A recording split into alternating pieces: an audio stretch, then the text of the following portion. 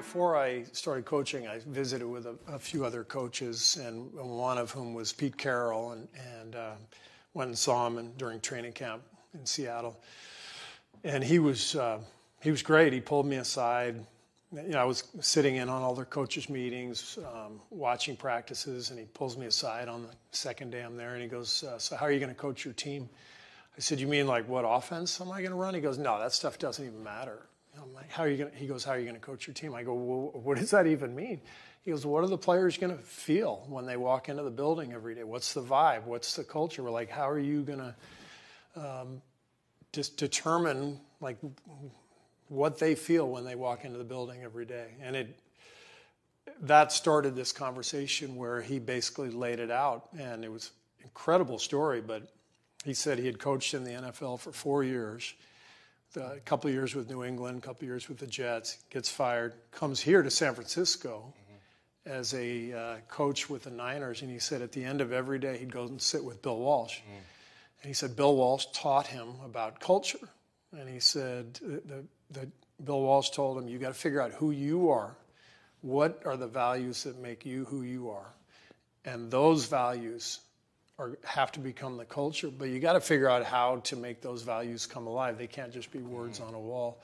So P was explaining all this, and uh, it made so much sense because I had felt that in San Antonio with Pop and Chicago with, with Phil, but nobody had ever sort of expressed it that way. So for the next couple of days, we talked about you know what what those values would be for me, what like really looking into my own uh, past and who I am, and then how to make those values come alive. And uh, fascinating. But Pete said he really learned that from Bill Walsh. So yeah, pretty cool. So yours values yeah. are competitiveness, right.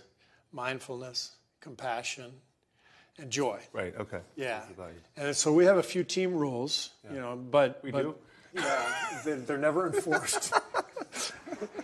So you know, protect the team right. is a is a is a uh, is a, a, team role, but uh, but everything is sort of um, encompassed with the values, and and so what Pete taught me was if if joy is one of your values, then there better be joy at practice. Mm-hmm. There better be joy in the building every day.